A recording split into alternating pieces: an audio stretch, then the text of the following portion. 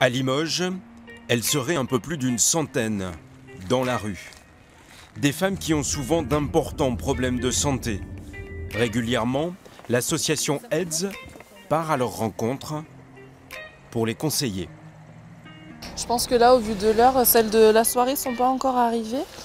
Du coup, je pense qu'il vaudrait mieux qu'on retourne vers le champ de juillet. Il ne s'agit pas de leur faire la morale, mais de leur apprendre à pousser les bonnes portes pour se soigner ou même, si elles le souhaitent, quitter la prostitution.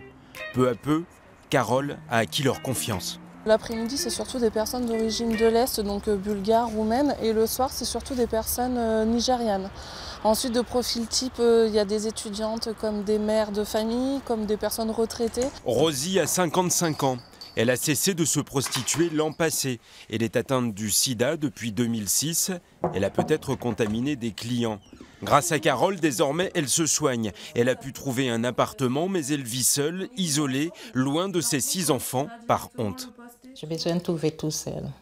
Parce qu'il y a des fois, j'ai des symptômes comme j'ai vomi, j'ai diarrhée, je mange pas. Pour moi, j'ai besoin tout seul, sans personne me connaissait. Moi, je n'ai pas de force parce que maintenant, j'ai tout stressé. J'ai tout stress. Maintenant, je vois un psychologue pour mon stress. Je prends des médicaments pour le stress. Ça peut être du stress vis-à-vis du, mensonge qu'on peut avoir envers sa famille, c'est-à-dire qu'on le cache et qu'on n'assume pas forcément. Ça peut être du stress parce que c'est quand même un climat qui est, euh, qui est euh, propice aux agressions? L'accompagnement de ces femmes très fragilisées se fait au cas par cas, y compris pour les escort girls que l'on trouve sur Internet. On se trouve sur Limoges, on est une association de lutte contre le sida et les hépatites et on vient de trouver votre annonce sur le site euh, Sexe Modèle.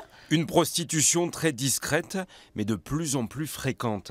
Sur Brive, et donc la Corrèze et en Creuse, c'est surtout la prostitution sur Internet. C'est-à-dire que dans les rues, c'est peu visible, les filles ne sortent pas. Par contre, sur Internet, c'est là où elles posent des, euh, des annonces. Reste que la prostitution en milieu rural, chez les étudiants, chez les homosexuels ou même itinérantes, reste impalpable pour l'association AIDS. Beaucoup de gens fragilisés, eux aussi, et avec lesquels il est difficile d'entrer en contact.